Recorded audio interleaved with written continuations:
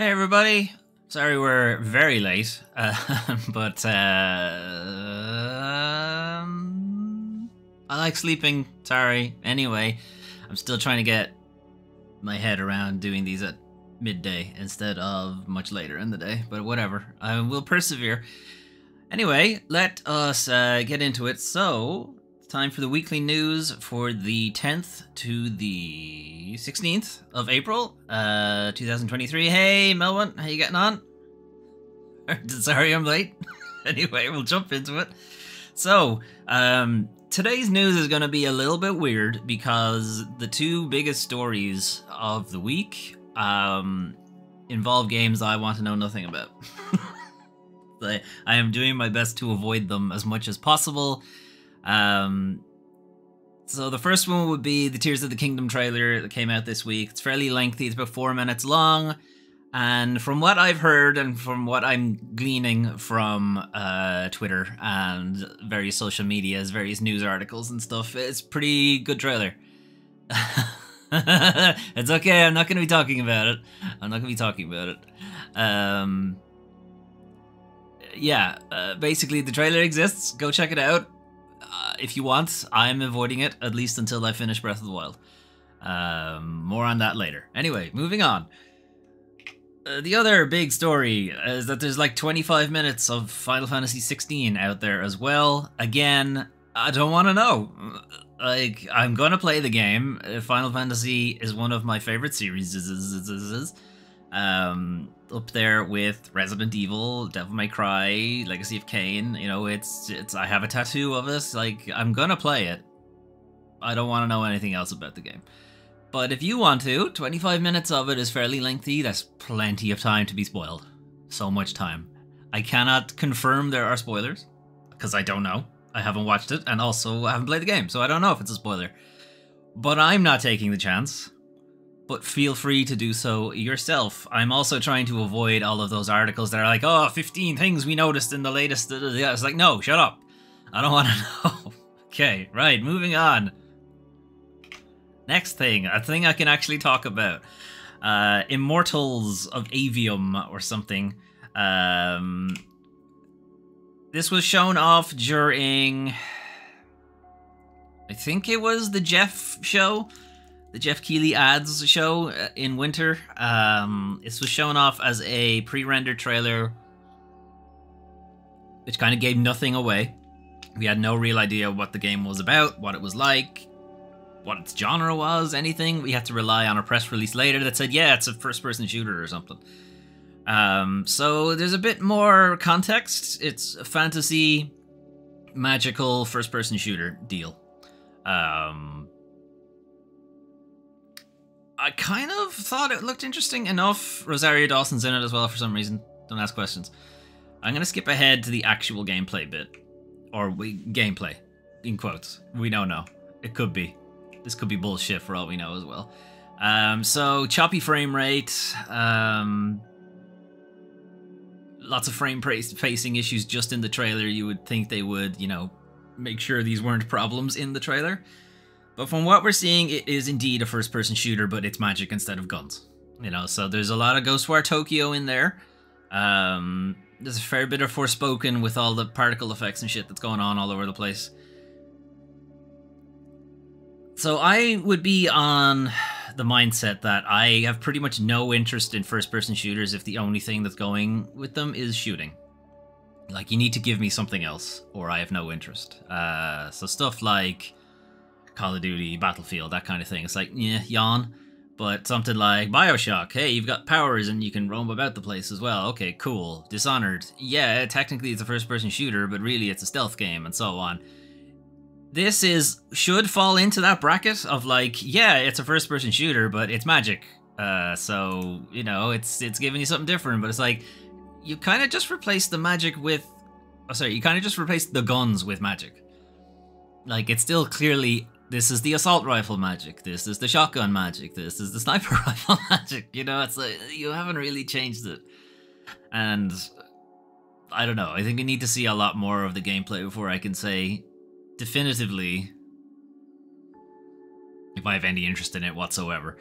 Um, the fact that it's also coming from EA makes me think probably not.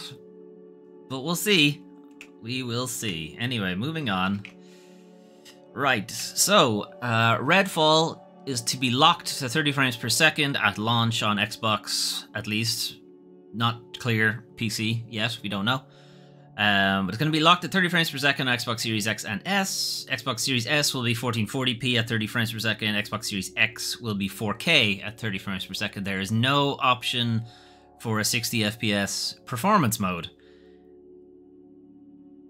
Really? You're, you're to release it like this? Like, Redfall has already been delayed. Um, almost a year and they still don't have a proper performance mode. Um, it's a little concerning. I think the the real issue is that because Redfall is an always online shooter, is the real problem there, and trying to maintain 60 FPS. Thing is, Destiny can do it. I think. I'm pretty sure Destiny 60 FPS. So it's a little that's a little weird. That's a little concerning. Um, they are planning on releasing a performance mode uh, eventually on consoles after the game has already been released. Again, they are like specific bleh, specifying consoles here and not PC. So it's entirely possible that PC can do 60 frames per second, or if you have a beefy enough rig, it can do it at least. It might be that your suggested specs will still be, or suggested settings will still be 30 frames per second, but that's not great. Um, and this is. I think this is Microsoft's first release after acquiring Bethesda. I think Ghostwire Tokyo was already in development, was already very, very far into development when Microsoft acquired them. So I don't really think you can count that. Deathloop, something similar, you can't really count it. As whereas Redfall, kinda you can sort of you can sort of count it so it's not a great start for microsoft. You might think 30 frames per second 60 frames per second that's not a big deal right? It's fine you can still play the game and yes yes you can. It's not as massive a deal as people would make it out to be but it does point towards issues maybe from microsoft's end of things on managing it but we'll see Anyway, moving on. Suicide Squad Kill the Justice League has been delayed to 2024. This is a massive delay. So, there were rumors that this was going to be delayed to later in the year.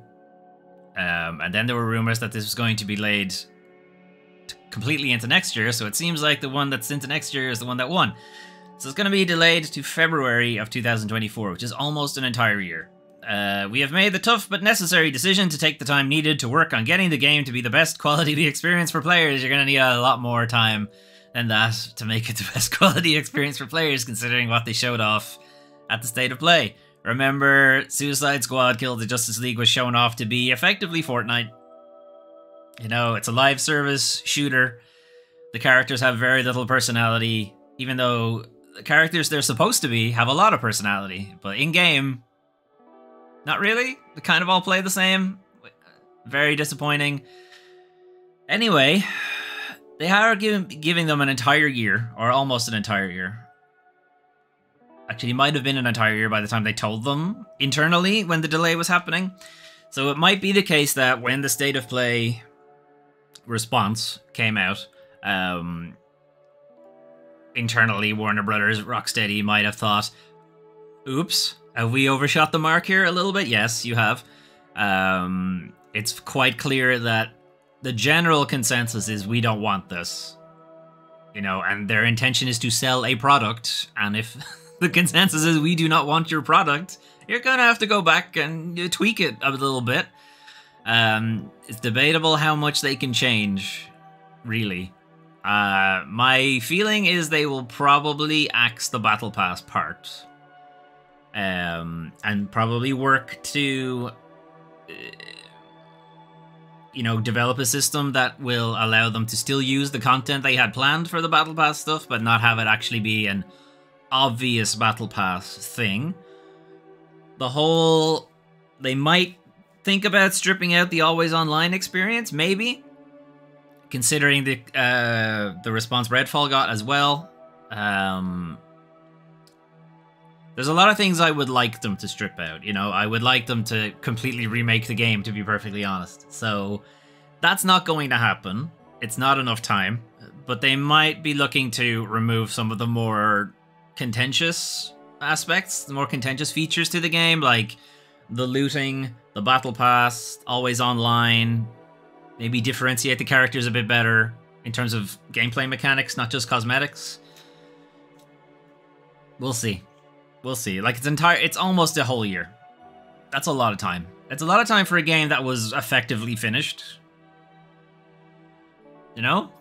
Like you don't spend a whole year polishing. That's not that's not a thing. So I don't know, we'll see. Alright, Summer Games Done Quick um, is coming up soon. It's going to be starting on the end of May, so the end of next month. But the games list has been released. Um, so here's the schedule. Uh, you can check it out all the way over on Games Done Quick's website. Um, I've only highlighted a couple of ones that I think will be kind of funny or really weird to watch. I mean, I'm gonna watch all of them because I usually do, but like Ring Fit Adventure as a as a speedrun seems weird. Like how ripped is the person doing this, or have they found some weird glitch that lets them just fake their way through it? I don't know. Melvin might be happy to see Loom is being is being a uh, speedrun. 30 minutes? Could you finish could you finish Loom in 30 minutes, Melvin? That's very fast, at least. Uh, VGA, I don't know what that means. Very good ass, possibly. now you think you could? 30 minutes. okay. Um, Phogs. Uh, Phogs is a really interesting uh, puzzle game where you play two dogs that are attached together. So it's like cat dog, but dog dog. Got it? Okay, so two heads, no bums, basically. They're all stuck together. You need to do it before I forget it again. Yeah, that's fair. That's fair. But Phogs has a very floaty physics. Um, and that kind of ends up with some really weird shenanigans happening. Um, we played a bit of Phogs on the channel if you want to look into it yourselves, check it out on the channel. Um, just search Foley Plays Phogs for a bit. It's a really interesting game. Anyway, moving on. Castlevania Symphony of the Night randomizer. Randomizers are always interesting. Um, so randomizers will kind of change what rooms you walk into, you get loaded into, what enemies are in the room, what items are in the room, key items, abilities, all get mixed around on the map and stuff like that, and you need to find your way through it. Um, and they're interesting to play. Um, I kind of find them more interesting as a programming exercise because you still have to make sure that the game is playable, like finishable that you haven't locked people out of key items, that puzzle progression can still happen, story progression can still happen, and yet still be kind of crazy randomness. Like it's really interesting how they go about doing it. Um, Overcooked, Overcooked Two: Night of the Hangry Horde as a co-op run. It looks like three people playing it. Uh, it would be interesting to see how Overcooked is meant to be played with people who actually cooperate. It isn't just incomplete chaos. Overcooked always chaos, always. When people play it cooperatively, you know, stretches friendships, breaks up relationships. You know, it's like the putting an IKEA furniture together of video games. So seeing how that is done properly, I guess, cooperatively, will be interesting. Silent Hill Homepour. Now, you may know that Silent Hill Homepour. You tried to tried to do it on a New Year's Eve. Ouch. Um, Silent Hill Homepour. So Homepour is not a Silent Hill game. There is no Silent Hill game called Silent Hill Homepour. There is, however, two Silent Hill games called Homecoming and Downpour. Um, they use the same engine, as far as I'm aware. They are, I think, by the same developer, or at least cooperatively between two the same developers. It, it did work though. Okay, good stuff. You didn't manage to murder each other trying to play Overcooked. So what I think this is, I haven't looked into it, but I think this is a randomized mixer between uh, Homecoming and Downpour, uh, where they have kind of both of the games working at the same time, and every time you load into a new area, you potentially load into a new game. Um, I have seen this done with some of the Metroid games, and I have seen this done with Metroid and Zelda at the same time, uh, which is really weird. It's like going through going through um, think it was going through a loading transition or going into a cave in Zelda, you would end up in Metroid, and going through certain doors in Metroid, you'd end up in Zelda. I think that's what they're going for here. Um, Signalis, I don't think will be weird. I think it'll be more. I just really want to see that speedrun because that game is incredibly good, but I found it really hard. So I'm kind of interested to see how that's played. Um, in under an hour, which is pretty impressive. Choo Choo Charles, uh, you may know as the game that is Thomas the Tank Engine, but it's an angry demon spider. Right, it's a kind of survival type thing where you are on an island on your own train, and there is this evil demon Thomas the Tank Engine spider train roaming about the island, and you need to kill it. Apparently, you can do it in under 30 minutes, which is pretty good. Uh, and then Resident Evil 6, I've never seen a speedrun of Resident Evil 6. I'm sure they exist. I've just never seen one. Um, so I'll be interested to see it because, uh, again, I've never seen it done. I've seen pretty much every other Resident Evil done as a speedrun, but not that one. So I think that'll be interesting. Sifu for the same reason. Uh, I found Sifu really hard, um, but they're going to do it in under an hour on master difficulty. So again, that'll be pretty impressive. And as you can see, there is a fairly lengthy list of other games. Super Hot in VR. As a speedrun. Okay, sure. Under 15 minutes. That'll be insane. Anyway, that is all kicking off on May the 28th. It's a Sunday. It'll run for uh, to the next Sunday, effectively. Um, and it's for charity, so going to check it out. Okay, the free Epic Games for this week. So on Thursday uh, is when the new games come out. Uh, it'll be Beyond Blue first, is a single-player narrative adventure that takes you deep into our planet's beating blue heart. Explore the awesome wonder and unbound mystery that exists within the world's ocean. So it is a walking sim, swimming sim, I guess. Um, for just hanging out with uh, abyssal horrors and scanning them. Apparently, a chance to get totally lost in the moment. Okay, well there you go. But also, there's Never Alone. Uh, Never Alone. Experience the epic journey of Nuna and Fox as they search for the source of an eternal blizzard that threatens the survival of everything they have ever known, which I believe is a kind of side-scrolly adventure title kind of thing. And it's got a cute little Arctic fox in it, so why not? Give it a shot. I think I have this. I think I've ever played it. It must have been a PlayStation Plus thing or something. Features co-op. Somebody can play the fox. Awesome. Anyway, that's that.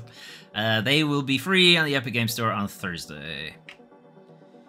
Right, um, PlayStation Plus game catalog refresh. So the game catalog for April for PlayStation Plus uh, Extra and PlayStation Plus Premium, which are the two additional um, subscription tiers. So first up for PlayStation Plus Extra, uh, Kena Bridge of Spirits, which is a gorgeous game. Uh, I don't find it particularly fun to play necessarily, but it is gorgeous.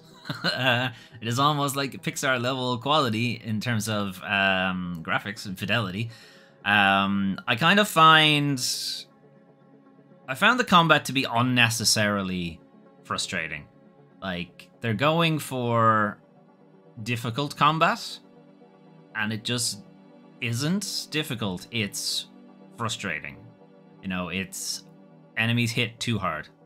For the kind of game that it is, and for the tools at Kena's Kena's disposal, the game is unnecessarily frustrating um, for combat. Um, I did end up just finding exploits where I could just use the bow constantly. Like I'm supposed to use the staff as an actual spear and stuff like that. It was like, nah, I'm just gonna I'm just gonna shoot them with the bow. It's faster. I don't want to engage in the actual combat. Thanks kind of detracts a little bit, but otherwise it's a fun game. Other than that, it's a fun exploration puzzle thing, and it's quite pretty. And if you have PlayStation Plus Extra, if you're paying for it already, it'll be free. Asterisk. Uh, Doom Eternal is really good. It's a really good first-person shooter. I know people give it shit because it's not as good as the remake Doom. I still think it's a really good game. Is it as good? No.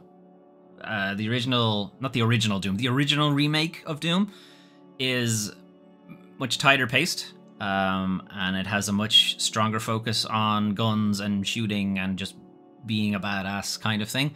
Doom Eternal is too long um, and has too many mechanics. It makes it feel kind of confusing and a bit um, clunky. but it's still fun. I still find it a fun game. I still be meaning to do Doom and Doom Eternal on the channel, and there I think both of them at this point have been on PlayStation Plus, so I should be able to do it. Uh, Riders Republic is a massively multiplayer uh, extreme sports game. Uh, so it is 50 players in PvP epic races, where it's like tons of you just thrown down the mountain on your on your mountain bike or on a snowboard or in your parasail. That's not a parasail. What are they called? Wingsuits? That kind of thing. Uh, you know, racing shit. Whatever. Who cares? Wolfenstein 2, The New Colossus, um, is also a very good first person shooter. Um, it's the sequel to The New Order, I think, or The New Blood, or something like that. Um, again, very good first person shooter. Um, Slay the Spire is a deck building roguelike kind of adventure game that people seem to really, really like. I don't like deck builders, so moving on. Mr. Monster Boy and the Cursed Kingdom is a very fun uh, side-scrolling adventure game. Um, it's almost like an adventure platformer. Um, the Monster Boy games are all very fun, and I don't think people know a lot about them. Um, if you've played any of the Shantae games, uh, they're very similar to them. Um, the Evil Within, the original, play it on easy. Trust me, do, do yourself a favor and play it on easy because the combat is punishingly difficult. And not in the fun oh i made a mistake and oh they got me kind of difficult. It's punishing in the he hit me from out of fucking nowhere or glitched across the map and somehow took my head off. You know it's that kind of shit. You don't want that. Just play it on easy and do yourself a favor. But otherwise fun game. I quite liked it um, Wolfenstein The Old Blood, which I think is a prequel to The New Blood. I, I don't know the actual order of games for the Wolfenstein reboots. They don't have a they don't have a coherent name naming convention. It doesn't make sense to me. It's one of them. I'm not sure where in the order it actually appears. Um, but it's another pretty good first-person shooter. Fishing. Moving on. Uh, Paradise Killer, excellent murder mystery game. Uh, we did a full let's play of it on the channel. Um, I would suggest though, if you have any interest in it, to do not watch it until you have played it yourself, because obviously spoilers. It's a murder mystery thing, um, but it is excellent. Um, it's just so weird um, and so engrossing. I just found it really, really good, and I, I'm holding out for a sequel or another entry, some something similar to it. Sackboy Big Adventure is already on PlayStation Plus uh, Essential this month, uh, but it will be gone next month.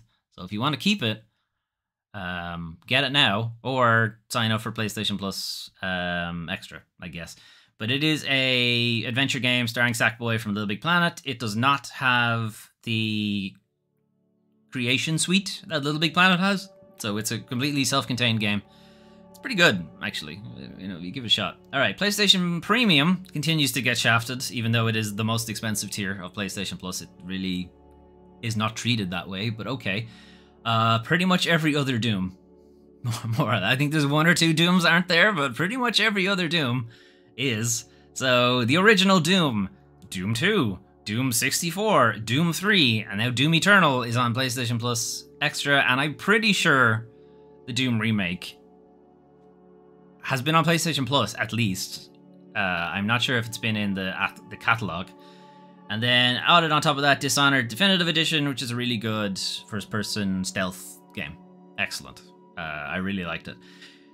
Uh, pointed out here at the bottom in the in the small text that they hope you don't read is a bunch of games are leaving the catalog, including Spider-Man and the Resident Evil remake, uh, as well as a couple of others. The entire PlayStation Plus collection is also disappearing. Uh, anyone who bought a PS5 in and around launch time up until now or up until the end of May, would have had access to the PlayStation Plus collection, which is 20 ish games for free, including things like Bloodborne, Persona, Final Fantasy 15, Horizon, I think, and a bunch of other stuff.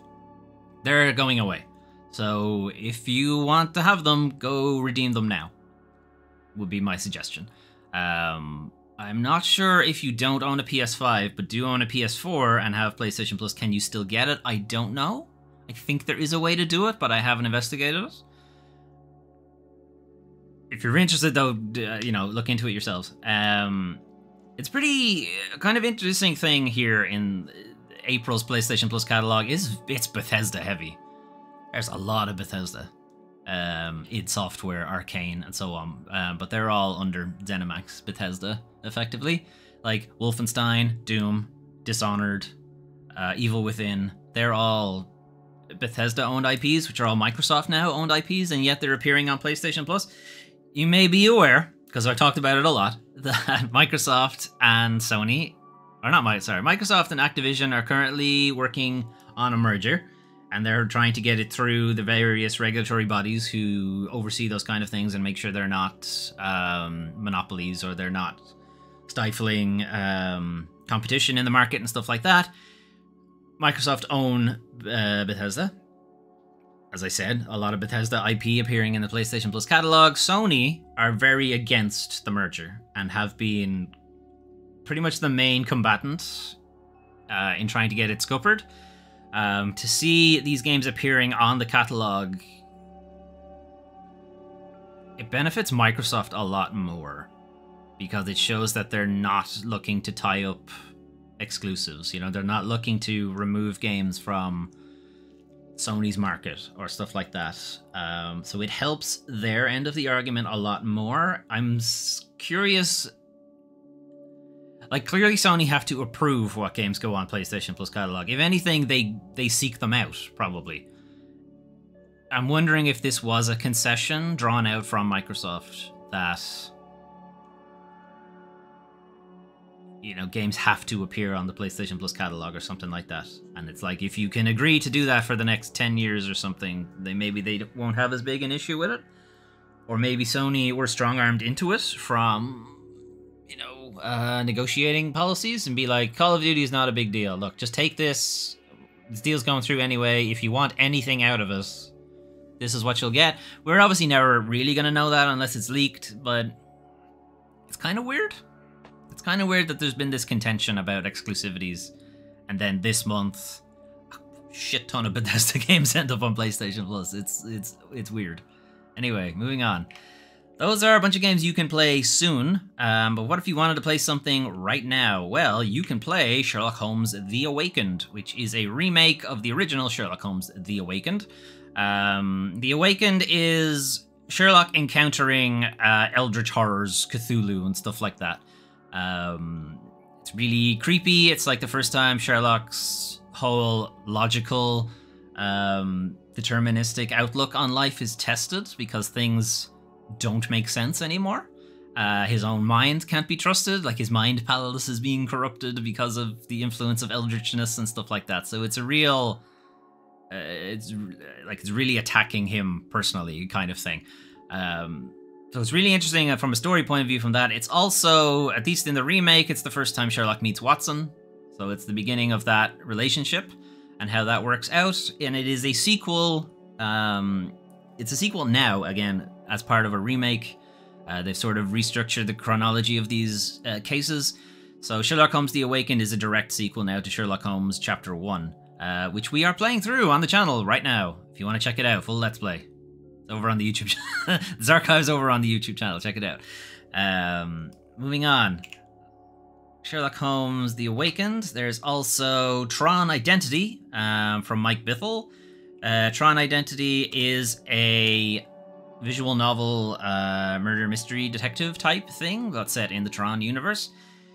We kind of thought Disney were like, we're just going to put Tron in the warehouse for a bit and have people, you know, kind of forget about it and then pine for it and then we'll release another thing that we won't actually support at all and just leave it throw it out to the wolves. But no it, like at least they're doing something with the ip um it looks good to me at least uh i i mean i really like the tron aesthetic so that's obviously not going to help i'm going to be somewhat biased because i really like uh the look uh, of Tron World and so on. The story, not so much, because it's like. I'm a software developer by trade, and it's, you know, this is nonsense. This is not how computers work, kind of thing. But I don't know. I kind of like. I'm kind of interested in it. Anyway, it's out now. If you want to check it out. Um, and then there's Wild Frost. So Wild Frost is a um, deck building roguelike thing like Slay the Spire, and I dismissed Slay the Spire, you may have noticed, as part of the PlayStation Plus catalog thing. Um, and similarly, I'm not going to play Wild Frost, but from what I've seen from the developer on its social media, on its marketing, its trailers, and stuff like that, it's very fun. They're at least attempting to make it fun uh, and funny. Um, so while I have no particular interest in playing it, I have some interest in watching people play it. So you know, if, hey, if you're streaming Wildfrost, let me know I'll check it out. You know, I'll hang out in your chat for a bit. Anyway, it's out now if you want to check it out yourselves. Um, but it does look very fun, and if you do have some interest in deck builders, I think you'll probably get uh, a kick out of Wildfrost. Anyway, however, after all of that good stuff, it is now time to talk about the worst part of video games the video game industry. So, Dreams, PlayStation's most ambitious creative games, stops updates after four years. Uh, Media Molecule has announced it is ending support for Dreams. Dreams is a kind of follow up to LittleBigPlanet. It is a creation suite, it's a set of tools for creating your own games, experiences, visual novels, what have you. It is very freeform uh, LittleBigPlanet was somewhat locked into you making platformy adventure type things, even though people really stretched the limit of those and made not platformy adventure things, made like full films and there was like a remake of Final Fantasy VII done entirely in LittleBigPlanet and stuff like that, um, which is very much not an adventure type game. Nuts, right? They made some crazy things, and Dreams was even more freeing than that. There have been some incredible creations done in Dreams, and the fact that it is ending support is extremely disappointing. Um, they'll be ending live support for Dreams on September 1st of this year as the team is moving on to an exciting new project. I have a feeling that Media Molecule have been very upfront about looking after the community, being really supportive. LittleBigPlanet 3 was kept in support for years. Um, Dreams was meant to be supported for like 10 years. Hasn't even made half of that. So again, something we'll probably never know, but I have a feeling Media Molecule are being forced here. Because Sony are looking to really push out live service games for the second half of PlayStation 5's um, life cycle. And Media Molecule would have experience in large, you know, heavy player bases kind of thing. Anyway, we know this won't be an easy message for everyone to hear, and it's certainly not been an easy decision. Dreams has been a special project for Media Molecule, and helping this burgeoning community of game developers, tinkerers, creatives, collaborators, and dreamers grow and express themselves remains one of the best things we've ever done. Thank you for being part of it with us. We look forward to you joining us on our next adventure. So, as pointed out here, Dreams is about to get a lot more limited in terms of how much you can create and save. As part of the winding down of support, they're also migrating servers. Those servers have considerably restrained um, specs and stuff like that, so the storage space has gone down. The amount of assets you can use in in your creations has gone down and stuff like that. Um, this is just a big list of stuff that's changed. Most of it is worse off. Um, when the game went into early access, Sony said it had a 10 year plan for Dreams. It looks like it's not even going to make its halfway mark. It's pretty disappointing. Um, even if you want to look at it as a purely market thing, Dreams was effectively Roblox. Like Sony had their own Roblox. Roblox makes billions a year. You know, they had that. If they had cultivated it a bit better, they could have done it with Dreams. Dreams did have an issue in that it was finding it difficult to retain players. Um, because the tools themselves, while extremely powerful, are a little tricky to understand. Um, and it was found that a lot of people were finding it easier to work with things like Unity that already exist and that are more or less created for this exact thing of making your own game. It's just disappointing you know, because it was a really good um, suite of tools. Um, it was accessible to pretty much anyone who had a PlayStation, uh, PlayStation 5 and 4. Um, not everyone has a beefy PC to run Unity. Not everyone understands how to write script or how to um, create 3D models and something like Blender and import it into Unity and stuff like that. you know, it had a little bit of a democratizing effect on game development, um, which is something that Roblox that I will give them credit for. I don't their other business practices not so much, but the fact that they are making creativity accessible to kids, um, the fact that they then monetize it is kind of shit because it then means adults come in and you know just completely take over the place, which is not what it was supposed to be about. Anyway, moving on. Ghostwire Tokyo's latest PC update quietly adds Denuvo for some fucking reason. So it's been a year since the game launched, and now they decide to throw Denuvo in. Uh, Denuvo is a DRM software. Uh, it is designed to make it difficult to pirate the game. Um, typically, the heaviest time a game is pirated is right when it is launched, which is why you'll find Denuvo is patched out a couple of years later because they don't want to pay the license anymore, and if people were going to pirate it, they've done it already, kind of thing. Um, so the new copy of protection has, for some reason, been added to Ghostwire Tokyo. It wasn't in it uh, when it launched. It didn't have um, anti-piracy software. Um, potentially, you could say that was because it was a PlayStation exclusive at the time. So it was a PlayStation and PC exclusive, and maybe Microsoft were like, fuck you, Sony, kind of thing, but I don't know. It's kind of weird that they're adding it in now instead of when the game launched because adding it in now is kind of pointless, really. It's putting the putting the cart before the horse or closing the barn when the horse is bolted or whatever it is. Uh, it's also noted that Redfall will have Denuvo at launch, which could also be a reason why it can't hit 60 frames per second, because Denuvo DRM does take processing power. It will take it away from the game, rendering every frame, 60 frames every second, if some of that rendering uh, processing power has to go off to Denuvo to check that this is a certified version of the game, it's going to take a hit to performance, at least on PC. Uh, why has Ghostwire Tokyo received Denuvo protection now? I don't know. It doesn't make sense. Uh, in contrast, Capcom this week removed Denuvo from Resident Evil Village two years after it originally released. Again, that's the usual thing with Denuvo is that it goes in, people are pissed about it because it affects performance of the game, and the only people who are uh, affected by Denuvo's impact on performance are legitimate purchasers of the game. Like pirates don't have this problem.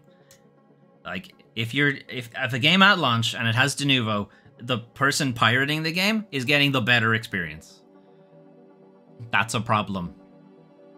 It's a problem when the person who is stealing, stealing, there's no real stealing exactly, the person pirating the game is getting the better experience versus the person who actually purchased your your product is getting a worse experience.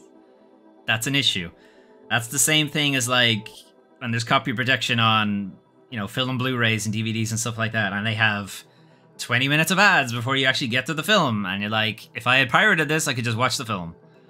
I know, I guess that's not really an issue anymore because most things are on streaming services, but Th- that's what it used to be. That was also a big reason people pirated it because I don't want 20 minutes of ads just showing me the fucking film. Anyway, DRM's a waste of time. If someone's gonna pirate your game, wait a day and it'll be cracked. Anyway. Diablo 4's seasonal story content isn't a new campaign. Battle passes will take 80 hours to clear. 80 fucking hours to clear on a battle pass. Right, so Diablo 4 is going to be broken up into seasons like a lot of games are, like a lot of live service games are now. Um, Diablo 3 did also have a seasonal thing. Um, and the developers of Diablo 4 are trying to say it's just going to be like Diablo 3's, and everyone was fine with that. Everyone was fine with that because it was free. You didn't have to buy a battle pass, you know, you didn't have to be playing the game for 80 hours in three months. That's a job. Um, that is effectively you playing the game just Diablo. That's it. You don't play anything else for hours a day. I have a lot of games. I stream fairly regularly, a lot of different games. I'm not. I do not have time for that. Uh, I do not have time to pay money for this battle pass because it's you know it's not a free battle pass. I, I, I just resent the idea of the battle pass itself, mostly because you pay money for it, but you're paying you're paying money for more work. Like you don't there's no guarantee you will get the items involved in the battle pass.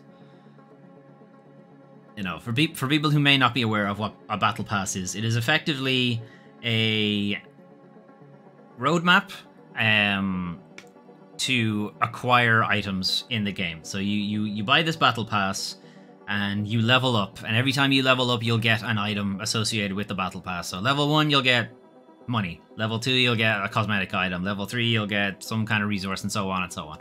And the big draw is the last level thing is some really cool thing, you know, and that's that's really what you bought the battle pass for in the first place. Just sell that. Just put that in the shop. Like the, battle pass shit is purely there to keep metrics up, and that is a mobile game thing. That is not a console PC thing. It's purely a mobile game thing. We just need you to play the game every day. The other annoying thing about battle passes and seasons in general is that once the season is over, you can't get that content again. So if there is actual story related stuff, which is what Diablo 4 is claiming, that there will be actual story content involved in all of the seasons, um, once the season's over, you can't get it again. That's shit. That's shit for people who are actually invested in the story of Diablo. Um, it's also crap for game preservation. Like, how are you going to preserve this if you're deleting it every three months? Like, the, the entire live service Battle Pass season thing that big games are evolving into is absolutely terrible for longevity. Like, they're putting it out there as if it's going to be this living thing for 10 years or what have you. It's like, if people want to go back to it, how do they go back to it? There's nothing there. You've deleted most of it. If people, if like, okay, so people growing up on Fortnite now, um, or Roblox now, or some of the Call of Duty Battle Pass stuff and stuff like that. If they're growing up on those games, right, they'll have nostalgia for those games because they, you know, played with their friends. It was a formative time of their years, and so on and so forth. And you'll see that nowadays there are throwbacks to things like Castlevania, Metroid, Legend of Zelda, stuff like that, because people grew up on those games and they like them and they want to make their own version of it or they want to play it again, and so on. What are they to do when they want to go back and play the original Legend of Zelda? I can still do that. I can go back and play the original Super Mario Brothers, the original Final Fantasy, and so on. How do you go back and play the original Fortnite? You can't. It's not there anymore. It's gone. It's deleted. Game's changed drastically since then. There's no way to do that. There's no preservation put in place to do that. There's no way to go back and play the original Minecraft now. There's no way to go back and play the original Call of Duty Warzone. You know, there's no way to go back and play, etc. This is the issue with live service games. You know, there's no way to go back and play the original Destiny. That's terrible for game preservation, for video games as a cultural kind of thing to not be able to go back and play touchstones of the game, touchstones of your youth, that you can't go back and do that. That would be not like not being able to go back and watch The Lion King. Like it's gone. Can't watch it. You, the only thing you get is the live the live version of the Lion King. But people would be furious. You know, can't watch the original Star Wars ever again. You only have the sequels now. like, come on, nobody will put up with that. The Mona Lisa has been shredded. Sorry, we only have this uh, poster version. That's that's what hangs in the Louvre now. And you need a battle pass to, to go watch it. Uh, like, we do not. We expect that video games be treated as a kind of cultural art form, but we we don't treat it that way. And by we, I mean the game industry. It's just shitty. Anyway, well, with Star Wars, you actually can't. you kind of can. It's just I need to jump through some stupid fucking hoops to do. it. God damn it, George! Why did you want to put bullshit CG in the background of all your stuff? Anyway, moving on. Um, industry body aims to improve game credits as developers complain they're being left out. So this is a push from IGDB, uh, the International Games Develop. Sorry, IGDA, International Games Developers Association, uh, trying to make uh, credits better uh, for video game developers. So there is an issue in that developers, uh, quality assurance testers, marketing people, uh, artists, and so on, if they leave the game development before the game ships, they tend to get left off the credits. Um, even if you haven't left the game and you're just a lowly localization tester, uh, you will be left off the credits because you're not important enough and all that kind of stuff. So IGDA are trying to say that's shit. Someone worked on your game, put them in the credits. More or less. Uh, so, not removing a name if a staff member leaves the company before launch and including all contract and full time studio employees. So, again, contract employees because they're technically not employed. They don't get put on the credits, but they worked on the game. Uh, further advice includes retaining names of original staff in ports and remasters and remakes. So there was some stink when the Metroid Prime remaster came out that the credits of the original game were not included. Um, you know, it's on, if it's a remaster, you didn't remake the thing. You're just making it look nicer, which means the original code is still there. The original assets are still there. The people who worked on it should be given credit, and they weren't.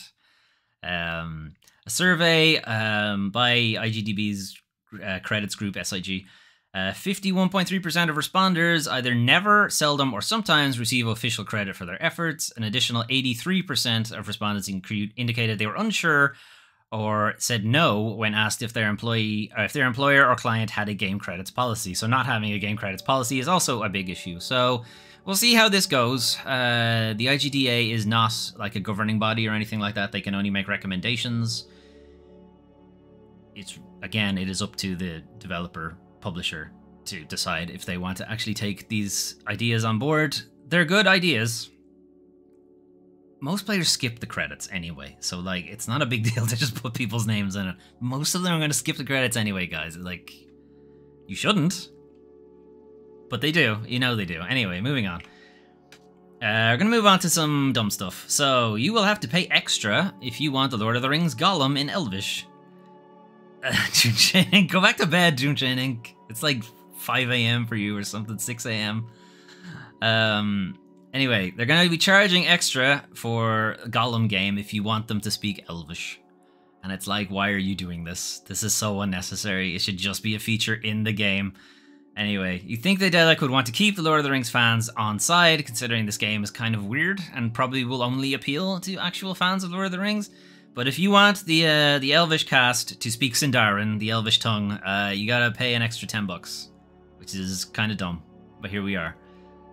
Anyway, moving on. Uh, you can play Dead Space Demake uh, for free. It's over on itch.io. So we have De- the original Dead Space 2008, and then we have the Dead Space remake 2023. Now you can play the Dead Space Demake of 19 something or other. He has something here. Dead Space Demake has everything you want and more. From necromorph limb, yeah, necromorph limb dismemberment to affine texture mapping errors. You've played Dead Space 2008 and you've played Dead Space 2023. No, I haven't. I haven't done it yet. Anyway, it's time to soak in the horrid vibes of Dead Space 1998. Uh, it's pretty great uh, stuff. So the Dead Space demake. Uh, it's not a full game. It's like a 15 minute, 20 minute demo kind of thing where they go through a couple of beats of the original Dead Space. But it's like it's a pretty cool idea. I know. He's just wandering around in your low polyness. Even has proper uh, limb dismemberment and stuff like that. Um, what is kind of funny though is that while this is a demake and it's meant to kind of look like it would run on the PS1, the PS1 would never, would never be able to run something like this. Absolutely not. Uh, I just think it's funny. Anyway, it's over on on itch.io. Um, it's free give it a shot. Runs on PC, keyboard and mouse, and um, controller support. Anyway, that was the news for uh, 10th to the 16th of April, 2023. I'm gonna leave Sherlock to loop. So you're too long didn't watch. Uh, there is four minutes of Tears of the Kingdom that I refuse to watch until I finish Breath of the Wild, but you can go watch it if you want. There is 25 minutes of Final Fantasy 16 out there that I refuse to watch until I've played the game, but you can go watch it if you want. Uh, Immortals of Aveum is first person magic shooting. Um, Redfall is going to be 30 frames per second on launch. Um, other things that I've forgotten. Uh, the, the, Game Pass, not Game Pass, uh, PlayStation Plus for this month is pretty heavy Bethesda stuff. Um, IGDA are pushing for a credits uh, policy for all game developers. Um, Diablo 4 is pushing out its battle pass bullshit and trying to make it seem like 80 hours for your battle pass is fine, and it is not, uh, and so on. this nukes news. Avoid spoilers. Yeah, pretty pretty much. Like I can't even say for definite that they are spoilers, because again, I haven't watched them. I don't know if there are spoilers, but I'm trying to avoid things that are like, hey, what does this mean for Tears of the Kingdom? And it shows a screenshot of something I haven't seen in Breath of the Wild. I'm like, go away. I don't want to see stupid, sexy Ganondorf. Not yet, anyway. Let me see it later. Anyway, that is the news. But what is happening on the channel? So our channel update for this week is, if I can find it, here. So this is our game mosaic thing roadmap for the first half of this year. Um, so these are all the games that I plan to feature or have already featured on the channel. Um, green tick, it's been featured. Yellow uh, dots, it is in progress. Grey clock, it is on the way. And if it has a little gold wedge in the top corner, it's a full let's play. And if it doesn't have a symbol at all, it'll be on the channel eventually. Just give me give me a second. Anyway, this week we played um, as as well as all of the let's plays that are going on at the moment. Uh, we played Season: A Letter to the Future on Friday as part of my Foley Plays Games a Bit series, where we take a look at newly released titles and play the first opening hours of them. Um, Season is a kind of meditative, mindful kind of thing. It is very chill, almost scrapbooking thing where you are traveling through this world that is winding down. People are moving on to a new age or a new season. Um, and you are more or less cataloging stories, sounds, visuals, stuff like that of what this season was like. It is very much a walking sim kind of thing. Um, but I found it interesting.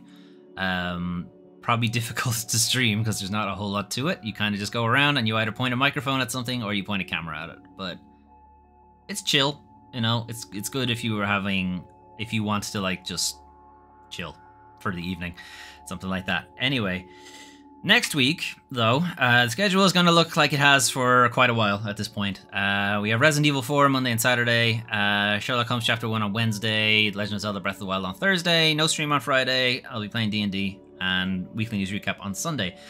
However, we will probably be finishing Sherlock Holmes and Zelda this week. So they'll be the finales, hopefully. That's the plan, at least. Um, Resi 4, we're only about halfway through the game, so still fair bit left in that. But the plan is to we will pro we will definitely finish chapter one, uh, Sherlock Holmes, this week. We might not finish Breath of the Wild, um, but it is my intention to finish Breath of the Wild this week. Um, but yeah, that is the plan for next week. Um, Resi, Sherlock Holmes chapter one, Breath of the Wild, Resi again, and then uh, we can news recap. Um, I will be streaming more Breath of the Wild later today. Um, mostly because since that trailer came out, I'm finding it difficult to actually use my computer without being spoiled on, on Zelda stuff. So, um, we're gonna try to rush through, or not rush through, but we're gonna try to finish out the Champions Ballad stuff today, um, so that on Thursday we can focus purely on Hyrule Castle and the end of the game. Okay, no worries, Melvin. Thanks for dropping in. I'm gonna head off. Um, I'm gonna get something to eat, and then I'll be back with Breath of the Wild pretty soon after that. So hang around if you want. Or Doom Training, go back to bed. Otherwise, I'll see you tomorrow uh, for Resi 4. Have a good one.